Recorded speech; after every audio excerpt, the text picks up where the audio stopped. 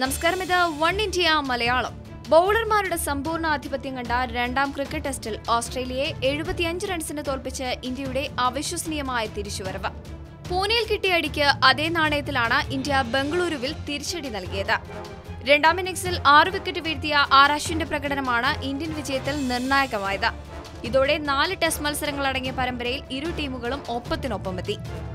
India മുന്നോട്ട് വെച്ച നൂറ്റി എൺപത്തിയെട്ട് റൺസ് വിജയലക്ഷ്യവുമായി ബാറ്റിംഗിനിറങ്ങിയ ഓസീസിനെ നൂറ്റി പന്ത്രണ്ട് റൺസിന് പുറത്താക്കിയാണ് ഇന്ത്യ വിജയം ആഘോഷിച്ചത് കളി തീരാൻ ഒരു ദിവസം ബാക്കിയുണ്ടായിട്ടും ഓസീസിന് ബാറ്റിംഗ് ദുഷ്കരമായ പിച്ചിൽ പിടിച്ചു നിൽക്കാനായില്ല എന്നതാണ് സത്യം. പതിനൊന്ന് റൺസ് എടുക്കുന്നതിനിടയിലാണ് ഓസീസിന് അവസാന ആറ് വിക്കറ്റുകൾ നഷ്ടമായത്. നേരത്തെ നാല് വിക്കറ്റിന് ഇരുന്നൂറ്റി പതിമൂന്ന് റൺസ് എന്ന നിലയിൽ നാലാം ദിനം ബാറ്റിംഗ് ആരംഭിച്ച ഇന്ത്യ ഓസീസ് പേസ് ബൌളർമാർക്ക് മുന്നിൽ തകർന്നടിയുകയായിരുന്നു.